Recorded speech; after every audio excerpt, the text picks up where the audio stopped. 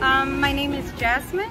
Um, I think I like being able to see like the kind of businesses that we have around. Also, I got to see some of the schools and things like that and get more information. So I really enjoyed that, just to be more um, aware what's around me. Um, some of the benefits that I've actually got from the voucher was it was always kind of nice to come over here and not know exactly what they would be providing and just keep uh, picking out a couple like vegetables and then uh, kind of like challenging myself to kind of create something new that I've never done. For example, the eggplants, I actually started doing like, um, instead of chicken parmesan, I did eggplant parmesan. So it was always nice to be able to include my daughter in it too and just kind of be like, okay, what can we make with this and this and this? So that's one thing I really enjoyed about it. Um, I would definitely uh, participate again and uh, we've actually been telling other people about it and we actually know a couple friends who've actually tried it too so I would highly recommend it.